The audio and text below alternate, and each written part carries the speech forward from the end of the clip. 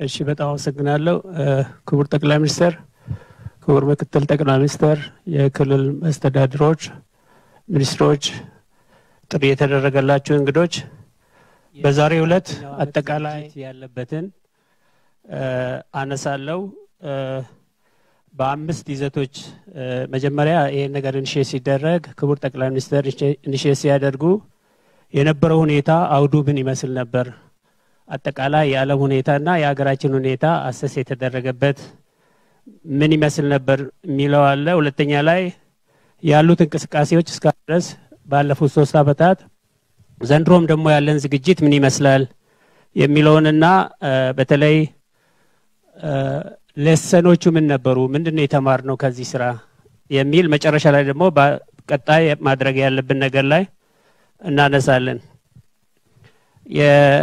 የአየር ንብረት ለውጥ ምን ያህል ለዓለም ይሁን ለኢትዮጵያ አሳሳቢ እንደነበረ በደንብ አናላይዝ ተደርገዋል።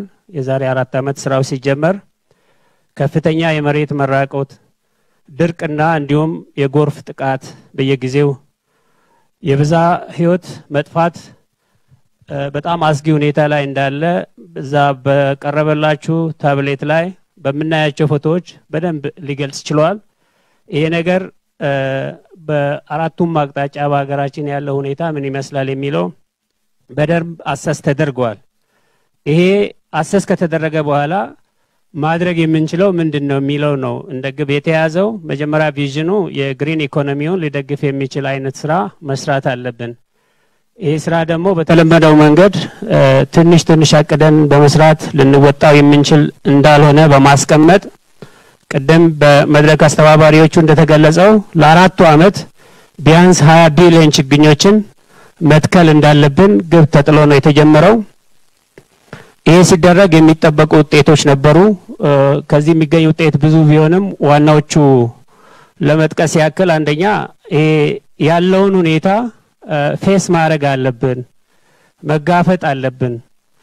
ይህን ካላረግን በቀጣይ ሊኖር የሚችለው የአፈር እጥበት፣ አጠቃላይ ደግሞ የደን መመናመን፣ በዚህ ውስጥ ደግሞ የ biodiversity ው እየጠፋ መሄድ አደጋ ላይ እንደሚጥለን ብዙ ጊዜ በ environment ዙሪያ የሚነገሩ ነገሮች ከአዳራሽ የዘለሉ አይደለምና በ action ይህን ስራ በደንብ እንስራ የሚል በግልጽ ተቀምጠዋል።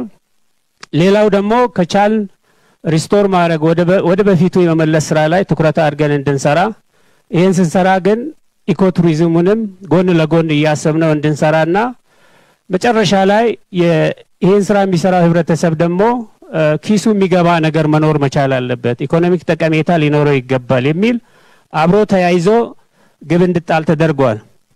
ይህን ካረግም በኋላ እሳቸው ያኔ ያነሷቸውን ነጥቦች ምናልባት በቪዲዮ ያኔ የተቀረጸ ነበር። Ethiopia has also been confronted with climate change and environmental degradation.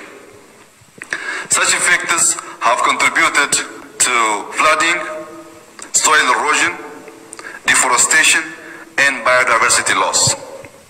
Therefore, countering climate change and paving the way for green growth has been one of our key development objectives. As we globally observe World Environment Day today, in Ethiopia, we officially launch our 2020 Green Legacy Program. እነኚህ ታሳቢዎች ነበሩ። መጀመሪያ ላይ የገለጽኳቸው issue ዎች ፈተናው ከባድ ነው። ያን ፈተና face ለማድረግ ግብ ጥለን መነሳት አለብን የሚል ነበር። ምን ላይ ነው ታዲያ ይህን ከሰራን impact ማምጣት የምንችለው የሚሉት ብዙ ነገሮች እንዳለ ሆነው ስድስት ነገሮች በደንብ ተለይቶ ነው ስራ ውስጥ የገባነው። የመጀመሪያው ጥምር ደን ላይ የምንሰራው ስራ ነው። ይሄ በተለይ ለምግብነት የሚውሉ ለአፈር ጥበቃ፣ ዘረመል ጥበቃ ሊያግዙ የሚችሉትን በጥምር ደን አቅፈን መስራት ችለናል። ሁለተኛው ደግሞ ደንን የመንከባከብና ለደን አስተዋጽኦ ሊያደርጉ የሚችሉት ላይ የተሰራ ስራ ነው። በተለይ የዱር አራዊት መኖሪያ ከመሆን አንጻር ከብዛ ህይወት ጋር ለካርበን ግብይት ወደ አርባ ቢሊየን ባለፈው የተሰራ አሁን ደግሞ በሂደት ያለም አለ ከዚህ በላይ ሊሄድ እንደሚችል ይገመታል። ሌላው ደግሞ የተፋሰስ ልማት ላይ የሚደረገው ጥረት ነው። ከዚህም አንጻር የአፈርና ውሃ ጥበቃ ጎርፍን የመከላከል ስራዎች ሊሰሩ እንደሚገባ በእነኚህ area ዎች ላይ ለውጥ ማምጣት እንዳለብን ታስቦ የተጀመረ ነበር። ከዚህ ጎን ለጎን በአራተኛ ደረጃ የከተማ አረንጓዴ ቦታዎችን የማልማት ስራ በተለይ ፓርኮች ላይ አሁን ፍሬንድሺፕ ፓርክ ላይ የምናየው ስራዎች ይሄ ለስነ ምህዳር፣ ለመዝናኛ፣ ለውበት ከተሞቻችንን ከወዲሁ የማዘጋጀት ለህብረተሰቡ ጥሩ የመኖሪያ ቦታ እንዲሆኑ የማድረግ ስራ እየተሰራ ነበር። ሌሎች አዳዲስ ቤቶች የሚገነቡበት ቦታዎች ላይ ደግሞ ለአካላዊና አእምሯዊ ጤና ሊያግዙ የሚችሉ ሙቀትንና የአየር ብክለትን ለመቀነስ የሚችሉ ተክሎችን መርጦ የመትከል ስራ ሲሰራ ነበር። መጨረሻ ላይ መጀመሪያ በግቡ እንዳነሳሁት የዚህ የኢኮ ቱሪዝምን ከወዲሁ አስቦ የመስራት ስራ በዚህ ውስጥ ተጠቃሏል። እዚህ ውስጥ የስራ እድል ፈጠራ አለ። ገቢን የማሳደግ ህብረተሰቡ ከስራው እንደሚጠቀም እያወቀ እንዲሄድ የማድረግ ስራዎች እንዲታዩ ተደርገዋል። እነኚህን ታሳቢዎች ይዞ ነው ስራው የተጀመረው። ይህ ከሆነ በኋላ progress ኦቹ ምን ይመስላሉ? ቅድም partly ተጠቅሷል። መጀመሪያ አመት ላይ ወደ አራት ቢሊዮን ለመትከል በሁለተኛው አመት አምስት ቢሊዮን እንደዛ እያልን ሀያ ቢሊዮኑ ላይ ለመድረስ ነበር target የተጣለው። ነገር ግን ስራ ውስጥ ትልቅ mobilization ስለነበረ አመራሩም own አድርጎ ስለሰራው አፈጻጸሙ ካሰብነው በላይ መሄድ የቻለ ስራ ነው። በዚህ ምክንያት ባለፉት ሶስት አመታት ወደ 18 ቢሊዮን ችግኞች ናቸው የተተከሉት። የህዝቡን ተሳትፎ ደግሞ ስናይ ከ20 ሚሊዮን ህዝብ በላይ በአመት ሊሳተፍ የሚችልበት ሁኔታ ተፈጥረዋል። ይሄ ትልቅ mobilization ነው። በሌሎች ስራዎቻችን በዚህ ልክ ህዝቡን mobilize ማድረግ ብንችል ምን ማድረግ እንደሚቻል ያሳየ ነው። ወደ አምስት የሚሆኑ የጎረቤት ሀገራት ላይ በተለይ ባለፈው አመት ችግኞቹን የማድረስ ስራ ተሰርተዋል። በእያንዳንዱ አመት የተለያየ ህዝቡ mobilize የሚደረግባቸው መሪ ቃሎች በመውሰድ ሲሰራበት ቆይተዋል። በመጀመሪያው አመት አርባ ዛፎች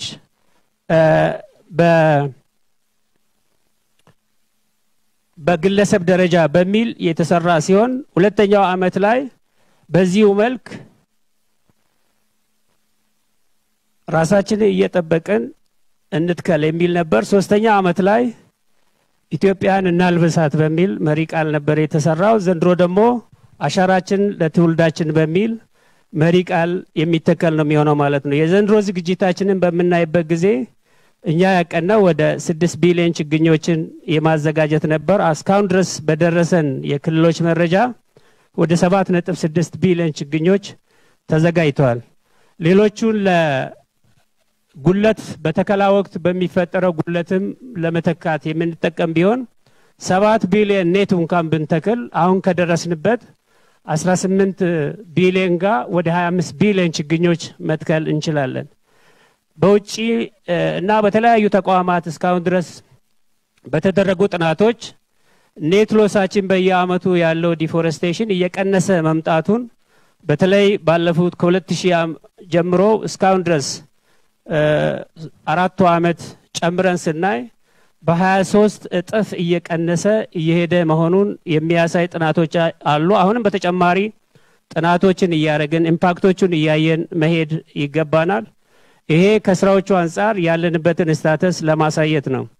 የዘንድሮ እንቅስቃሴን በሚመለከት በ2014 ቅድም እንዳልኩት 6 ቢሊዮን ችግኞች ለመትከል የታቀደ ቢሆንም አሁን በክልሎች ተዘጋጅቶ የመጣው ወደ 7.6 ቢሊዮን ችግኞች ነው። መጀመሪያ ላይ የነበረን እዛ ታብሌት ላይ ያረኩት ቁጥር የተቀየረው አማራ ክልል lately መረጃው ስለደረሰኝ ነው። የአጠቃላይ ደግሞ ከተዘጋጁ ችግኞች ወደ 52 በመቶ የሚሆኑት በ agroforestry category ውስጥ ያሉ ናቸው። በደንነት ያሉት ወይም forestry የሆኑት ወደ 47 በመቶ ነው። ቀሪው አንድ በመቶ የሚሆነው ornamental category ውስጥ ሊወድቅ የሚችል ነው። ይሄ ዝግጅት I think እስካሁን ድረስ ካረግናቸው ዝግጅቶች ከፍ ያለ ነው። የነበርንበት ሁኔታ በጣም አስቸጋሪ ቢሆንም ክልሎቹ ልምዱንም እያገኙ በመምጣት በተለይ ችግኝ ጣቢያዎቹ ላይ በሰራነው ስራ ከፍ ያለ ቁጥር ማግኘት ተችሏል።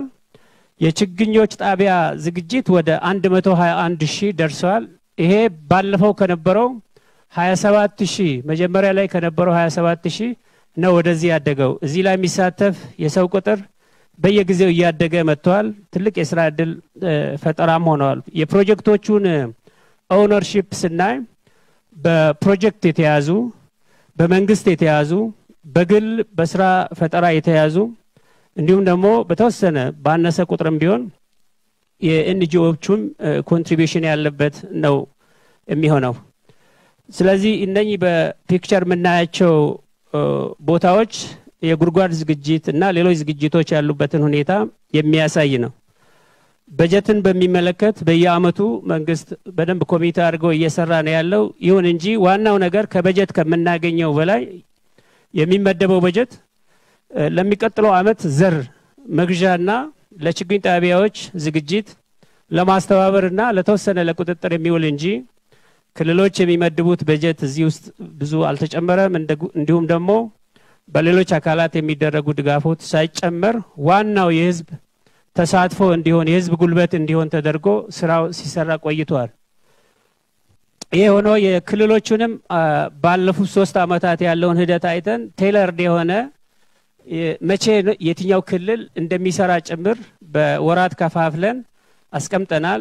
ግንቦት ውስጥ፣ ሰኔ ውስጥ የሚሰሩ የትኞቹ ክልሎች እንደሆኑ ሐምሌ፣ ነሐሴና መስከረም ውስጥ የትኞቹ ክልሎች የእነሱን ስነ ምህዳር ያማከለ አይነት ስራ እንዲሆን ለማድረግ ተችሏል። ከዚህ ምንድን ነው የተማርነው የሚለውን በሚመለከት አራተኛ ላይ አንደኛ ችግኞችን በተለይ የችግኝ ማፍያ ቦታዎችን በማዘጋጀት ትኩረት ይሰጥ የነበረው ተከላው ላይ ነው እንጂ የችግኝ ማዘጋጀቱ ሂደት ላይ አልነበረም። በሂደት እዚህ ላይ ትልቅ lesson ተገኝተዋል። ሁለተኛው ደግሞ የጉድጓድ ዝግጅት ችግኝ እንደ ማንኛውም ህይወት እንዳለው ነገር ሙሉ ዝግጅት ይፈልጋል። ከዛ አንጻር የጉድጓድ ዝግጅት በደንብ ከአንድ ወር በፊት እንዲሆን ማድረግ ተችሏል። ሁሉ ጋር ያ qualified ያልሆነ ነገር የሆነ ነገር መጥቷል ባንል እንኳን በአብዛኛው ትልቅ lesson ሊገኝበት የሚችል ስራ ተሰርተዋል።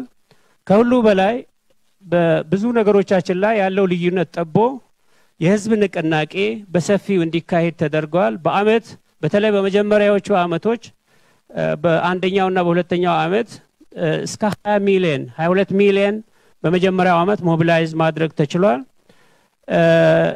ሁሉም የህብረተሰብ ክፍል በዚህ እንዲሳተፍ ተደርጓል። ተማሪዎች፣ የእምነት አባቶች፣ በመንግስት ስራ ያለ የመንግስት ሰራተኛ በየደረጃው እንዲሳተፍ ተደርጓል። የግንዛቤ ሁኔታም ከጊዜ ወደ ጊዜ እየተሻሻለ መጥቷል።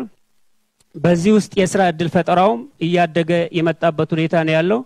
በአማካይ በአመት እስከ 184 ሺህ ሰው በዚህ ስራ ላይ ይሳተፋል። በገንዘብ ስናይ ወደ 1.3 ቢሊዮን የኢትዮጵያ ብር በዌጅ ደረጃ የሚገኝበት ሁኔታ ተፈጥሯል።